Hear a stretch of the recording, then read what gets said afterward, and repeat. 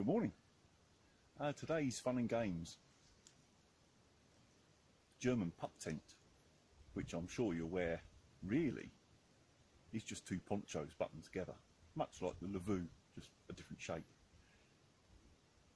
I like the idea of it, but the one thing with this sort of setup I don't like is the fact that you've got two poles.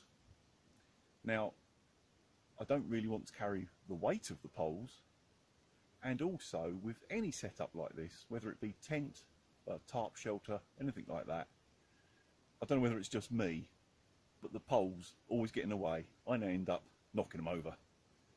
So, yes, it works like this, but I'm going to try some setups, see if I can get away with not bringing them. Um, anyone that hasn't seen this, I'll just give you a quick look round. Right, as I said, two halves, which are really ponchos. That's why you've got all these extra buttons and stuff. You can also see here, I hope, this is actually the the sleeve holes when you're wearing it. Size wise, it's not bad. Um, it's meant to be two man, but you wouldn't be two big men, let's put it that way, if you was in there. From the extremes, from point to point where the sort of the door sections are, it's about eight or nine feet, which sounds, you know, good.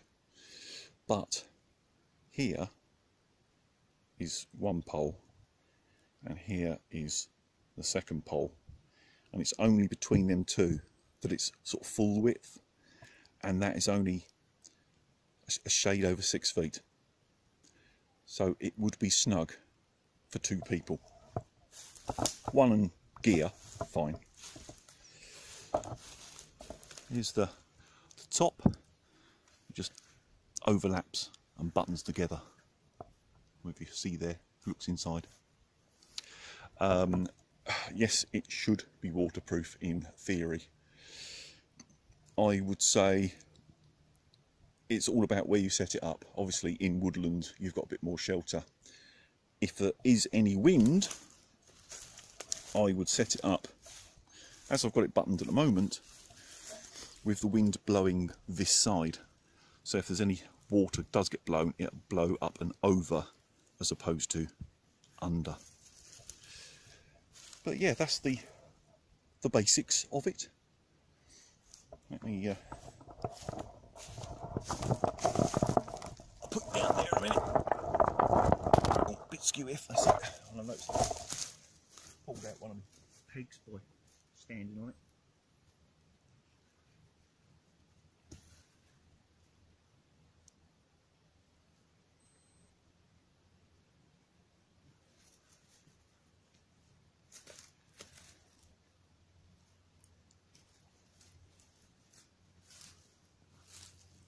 That's the other thing, really. You should have guy lines on it. Seeing as I'm not going to use it in this shape, I was just setting it up and having a measure, I didn't bother. It was only the tension of the door section holding it up. So I'll have to hold the pole. But yeah, that gives you an idea of the size. It's, it's not massive. I'd probably have to go diagonal if I use it like that. Um, nice and dark though and apparently, I mean, I've never used one of these, or a Lavvu, or anything like that. And apparently they're very warm, so it might be a, a winter option for me. So yeah, that's basically what they're like. Time to change it up a bit, see what we can do. Now that would probably make more sense for me. I'll just uh, ridge line between the two trees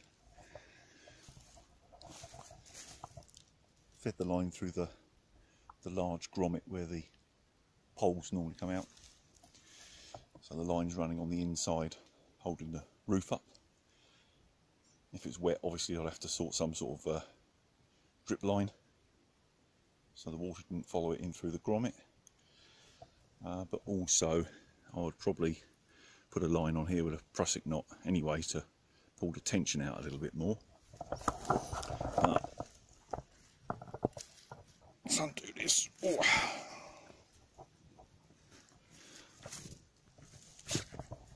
Get off.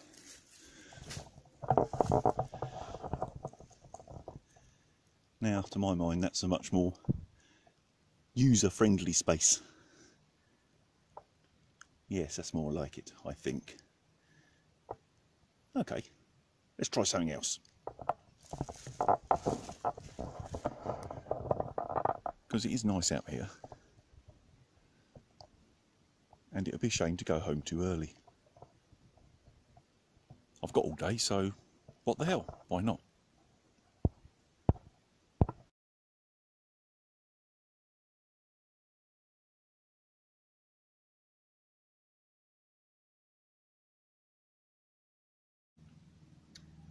Now that's more like it. Um, probably have to do something just to lift that slightly. So I've got a slight sag here which will collect the water. Um,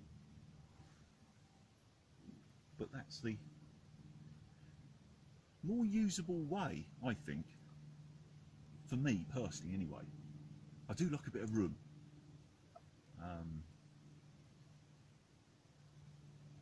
and the waterproofing isn't the end of the world because a setup like this I'd probably have my bivvy with me anyway. So hmm.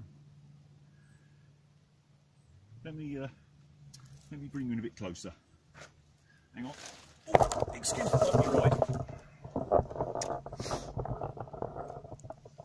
so that shelter half is pinned down completely in the normal fashion. Normally the pole be up in there right in the way of the door as per normal. Um, but I've of course got the ridge line. And I've, I've just lifted up the far edge using their poles guide it out and then bungeed down the edges there. All to get you know keep the weather out. But it does mean that you're open like this at the front. Good 180 degrees view, uninterrupted, which is really what I like.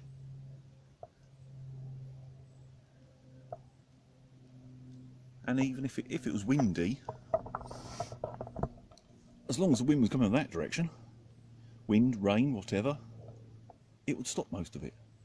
It wouldn't be the end of the world. And if it did start to get manky and start coming in that end, um, there's no reason why I couldn't, where's my finger there, pull the pole out, undo the bungee, and just button up that end. You know, if the weather was coming in that direction. And you could leave this end open. Yes. Very interesting. So it's the first time I've even had a proper look at one of these. And with all these buttons that they've got all over the place, obviously mainly for, for poncho use, um, it does make it sort of quite versatile. I'm, I'm going to have to play a bit more and see what, what I can do with one bit button to another. Let me put you back down.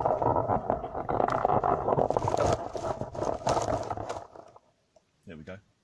Hope we're still in shot. Um, this. This is cool. I mean, I would use it in the, you know, the proper intended tent shape. If the weather was awful or it was really cold, that, you know, I get it. Um, but I think it'd be a bit snug. It's all right if you're just getting in it to have a kip. But if you had to get in your tent, you know, in the late afternoon, early evening, because the it was pouring with rain or something, it's a small space and a dark space spend 12 hours or whatever in. I think having it like this is a better option. Cool. I'm liking it though.